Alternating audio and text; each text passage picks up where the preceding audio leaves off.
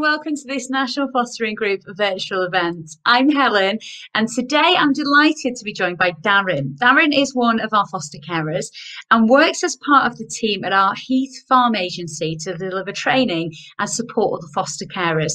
Darren also has MS, and he's going to be talking to us today about the challenges and rewards of fostering with a disability. So let's meet Darren. Hiya. Hi, Darren. Thanks so much for joining us today. Um, so, I gave a little brief introduction to you there, but can you tell us a little bit more about yourself? Yeah, so um, I uh, foster with my husband down here in Kent, um, and we're approved for three children. Um, and um, we tend to uh, work more with children on the longer term. So we have long term children with us um, which is really nice because you can see them kind of grow up and develop and um, and yeah, see their whole kind of journey flow. Um, and uh, yeah, we've been fostering for nearly ten years. Um, and uh, we've also got a little dog, and my mum lives with us, so there's quite a busy wow. household. It's quite a bit going yeah. on. Um, so yeah, so um, previously I um, my husband was a teacher and I worked at um, the YMCA, so we kind of fostering brings together quite a few of our skills that we already had. Yeah, yeah, lots of transferable skills there. And as you say, 10 years you've been fostering now nearly. Can you tell us a bit about like the journey that led you to becoming a foster carer? Yeah, so um I guess so we were kind of in our late 20s, so we got married when I was like 24 or something. And so, um, like, along the lines of most of our friends, we were like, okay, it might be nice to have children. Um, yeah. it, it, seemed like the right point in life. So we um, actually attended a conference. Um, and um, it was like looking at different ways that gay couples could have children or whatever. Um, and so it was around surrogacy, adoption, and things. And we went into this seminar, and um, it was led by two foster carers who were just so inspiring in how they put forward the journey. Um, and we just left, and we were so infused. And I guess so. The school where my husband had worked, um, he'd worked with children who were in care, and um, I at YMCA, I was the manager of a team for like 18 upwards um, and quite a few of those were kids who'd been in care and had care experience. And so I guess putting that all together, it probably was years in the making of like drip feeding to us just just what a difference you can make and the the positivity that um, certainly the people I work with, how positive they were about their experiences in care made me feel like, okay, I want to be part of that. I want to be part of it. And I guess there was for me, there was a couple of people that I worked with that I felt like I could have just scooped them up, taken them home. Um, felt that all they need was like a bit of love and a bit of nurture and pointing maybe in the right direction. And it, the, my frustration was always that the workday finished at five o'clock and then you'd find yourself sitting wondering what they were up to. And I, I know that my husband felt the same because we'd have similar conversations. And so we felt, you know, we're in a position, we want to do it and there's children out there with a need, like, and we knew that firsthand. So we thought, well, why not just give it a go? Um, and I think our thought was we'd know if it's not for us, it's not for us. But at least, at least we'd have given it a try. Like you don't know until you try something.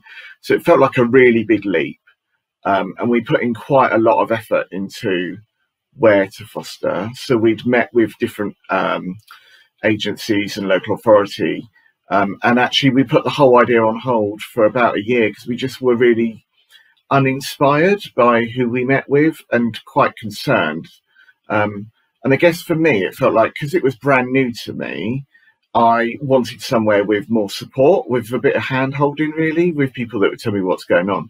And um, so the agency that we ended up with, uh, Heath Farm in Kent, um, when we we happened to kind of walk past them one day um, they had a stand somewhere. We got chatting, and it just the love, enthusiasm, and the support for every member of the family just poured out of them. And I think that was what really. Um, so we signed up on that day. We are like, right, just come around, do a home visit. let's just do this. And I think you get to that point, don't you, where you just feel like, okay, we've just got to do this. So yeah. yeah. It sounds like it was a really gradual, natural process for you, and everything happened sort of at the right time, didn't it? Really, like you couldn't really force yeah. anything. Absolutely, yeah. And I think, I think for us, um, it was all based on feeling. Really, it was w- what felt right for us. Mm-hmm. And you mentioned about Heath Farm because, of course, as well as being um, you also deliver training and support new and existing foster carers at Heath Farm. Can you tell us a, little bit more, more about that, about the work that you do there? Yeah, so um, the, again, it's evolved, so it's developed and evolved. So I started off by um, so when you first um, apply for being a foster carer, there's a course called Skills to Foster, which you attend and it gives you a bit of an idea around what fostering is all about. And it's an overview, really, um, of what you might expect. And so um, I was asked to join in with that. Um, just to sit and give the perspective of an existing carer and how that might be. Um, and so then one thing led to another because my background is in training. So I found it quite hard to just sit and keep like my comments minimal, I suppose. So I'd then I'd kind of take a lead on some activities, and then and it's grown and grown, and now I lead that training um, with one of the social workers. So um, yeah, and that's a really I love doing that course because I think you that's the point at which you can really bring it to life, and I yeah see I, I often every time I do it I think back to that conference that we went to where people spoke about actually doing it and what that really felt like.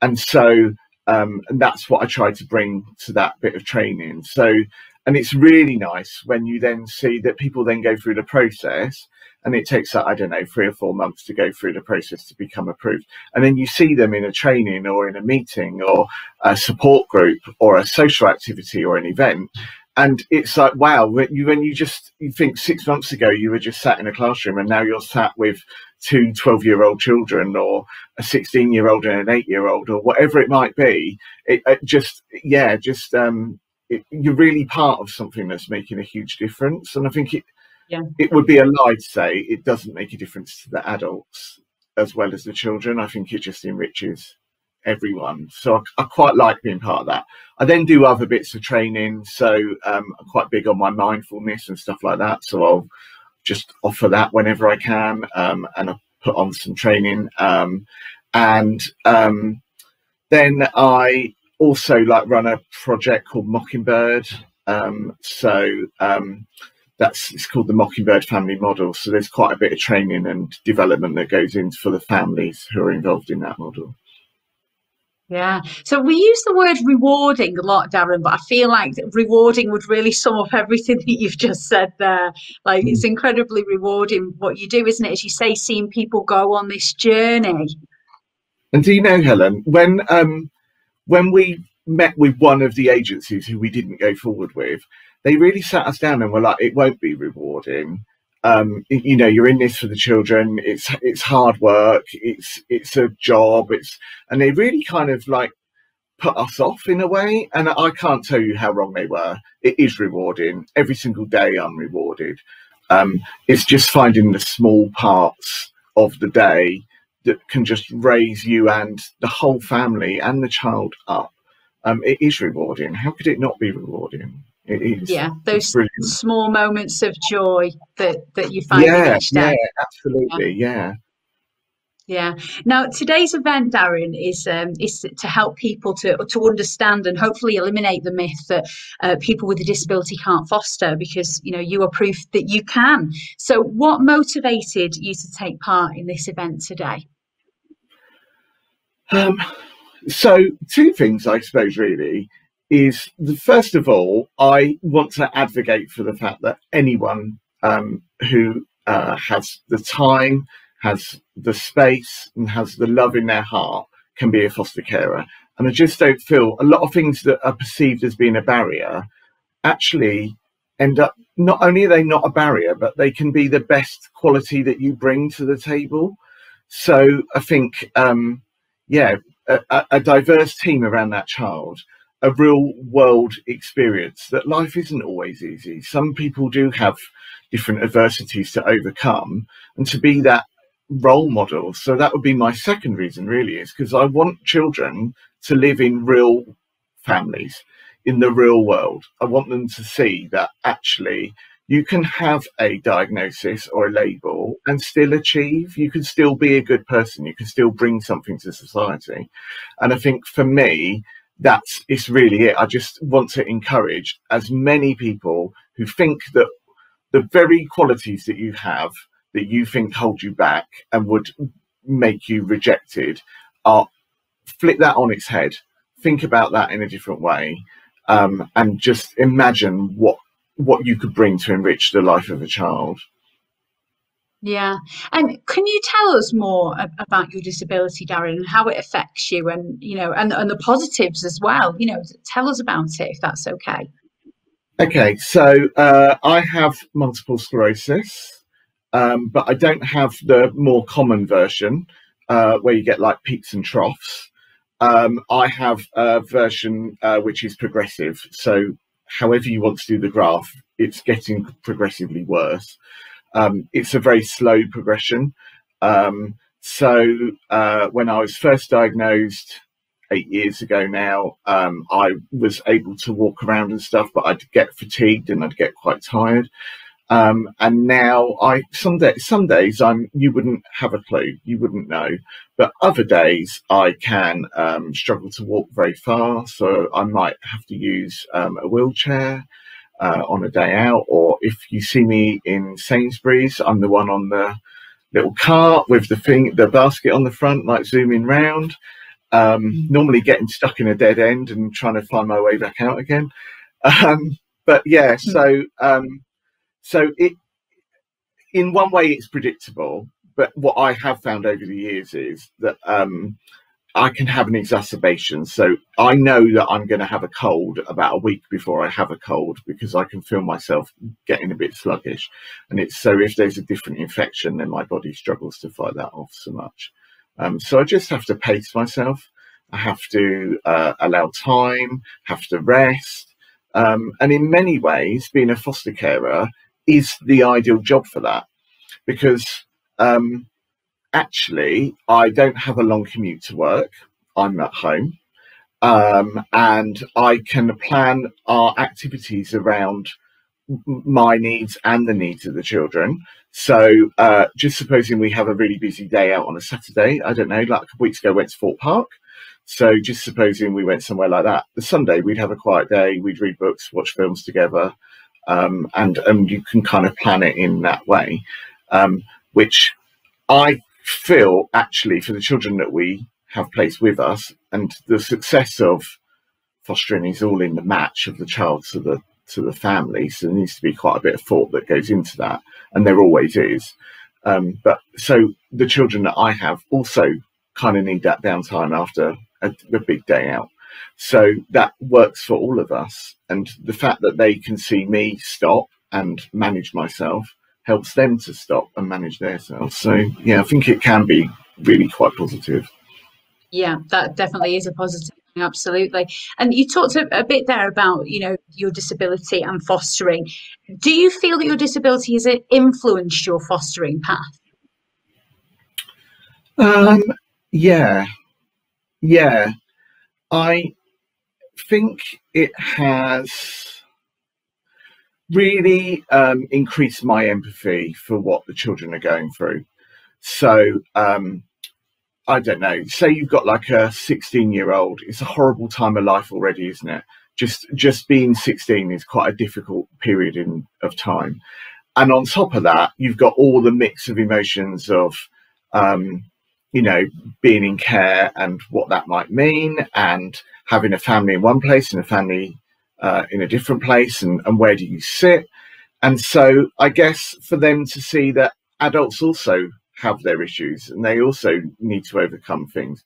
Um, my diagnosis might be different to someone with autism, but I still have a diagnosis and I still need to manage that. And so I think that, um, yeah, I think it, it's really uh, it makes me more understanding that sometimes so this is a really good point, actually. Sometimes I can be quite embarrassed by having to uh, explain why I'm struggling with something. So um, often I can I can be walking along and I'll look fine, but it's like I'll lose energy after like half hour of walking along. So if someone saw me on that first part where I've parked my car up, they might think, well, you don't need a walking stick. What are you walking around with that for? And you can almost feel the judgments.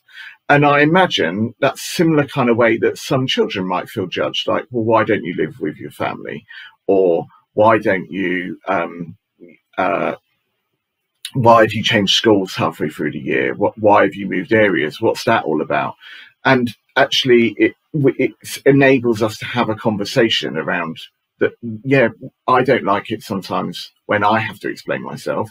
And so sometimes I choose not to. I know that I know what's going on and I don't have to explain that to someone else.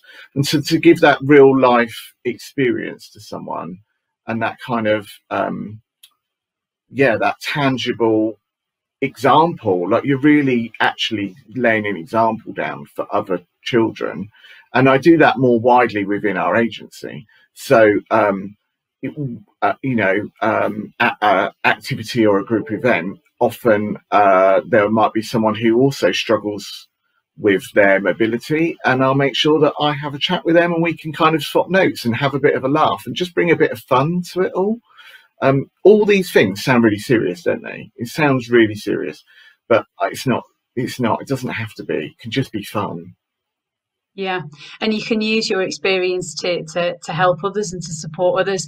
And just telling your story now, Darren, you know, it's so great to hear how open and honest, you know, you're being to educate and inspire other people. What would you say to anybody watching today who might have a disability and is thinking about fostering, but is thinking, oh, it might not be for me? What what would you say to them?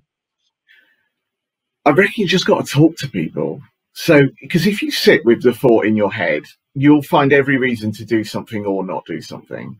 And I guarantee the bit that you're worried about is the bit that you don't need to. And the bit that you haven't even considered is probably the bit that you need to be considering.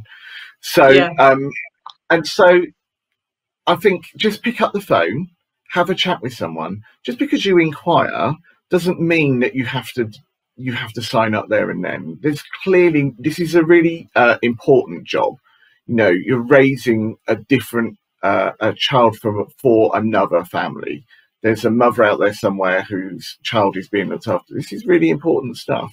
So it shouldn't be taken lightly. So there's clearly going to be no pressure. No one's going to force you. No one's going to pressure you. What they are going to do is give you the information to make an informed choice.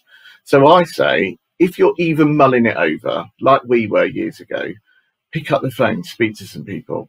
And if you don't like what you hear, that's fine. Go and find someone else. Hone it down and work out the bit because it was only by speaking to someone that we worked out that actually we really wanted an open dialogue of constant support. And once we knew what we were after, we were then able to go and find it. And and that's what we have consistently had. We've consistently had ongoing support. Our social worker was on the phone half an hour ago, just checking in on how things are. You know, and and we need that. That works for us.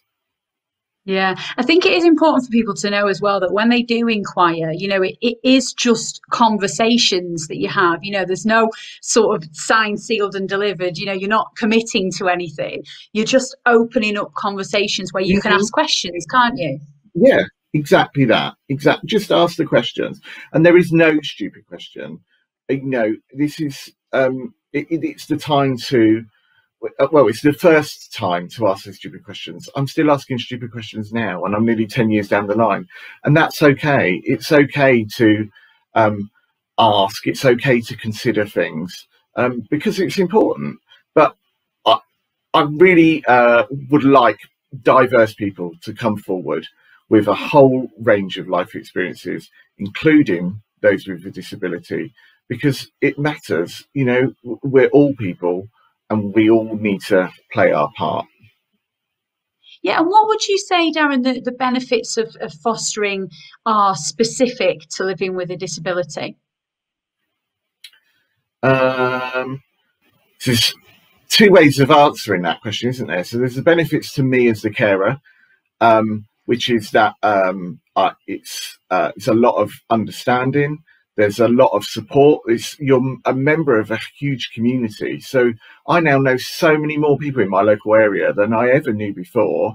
And they're there and we help and support each other and um, we're there for each other. And I think that's really nice. So that's a benefit to me. But a benefit to fostering as a as a whole picture is that children um, they just need love and and they need uh, a sensible voice in their head. And often a child will need someone that's quite calm quite considered quite managed. What you might find with someone in the situation of having a disability is they'll know themselves really well. They'll know what their drivers are. They'll know uh, how they're feeling. Um, and all that stuff really matters when you're fostering to be able to bracket off, okay, what's going on for me? What's going on for them? Probably as well, you're more used to uh, having relationships with professionals. So it might be medical appointments. It might be uh, you might have OTs or social workers, or and actually those are all the same people you're going to meet in the world of fostering. So to already have that layer of confidence and ability, you're actually further ahead than anyone else starting off as a foster carer. So you have an awful lot to bring to the table. Um, and um, the, the best days, like, so there's days where I feel rubbish, and they're thankfully they're few and far between. Some days I feel less good, they're more often. In those moments, you know, it's brilliant just to get a book out and sit and read it together, or I don't know, even with an older child, like they'll read a page of a book and I'll read a page of a book and we'll take it in turns. Or we'll sit and watch the news together and have a chat about current affairs. And, you know, um, that could extend from anything, couldn't it? What What's the implications for that child on the latest policy um, around, I don't know, anything from Brexit to um, Black Lives Matter? You know, it's, it's all kind of there. You don't have to be consistently on the go um, so yeah, I may not be able to spend hours kicking a football round with someone in a park, but I'm definitely able to drop them off and uh, to their football team and watch them when they practice and watch their games and cheer them on and be there to give them a hug at the end and a high five when they do well and wipe away their tears when they don't. Like it's just normal life, and um, and I think some something in being considered and having a slower day is just as important as offering a child like a bombastic lifestyle. Yeah, yeah, it's good to have that balance. Yeah. Mm. And as we said earlier on, Darren, you know, 10 years you've been a foster carer now. Um, I'd just like to ask you some general questions, really, as you as you're so experienced. Um, what would you say your your best piece of fostering advice is? Um, I reckon, yeah, it's a big question.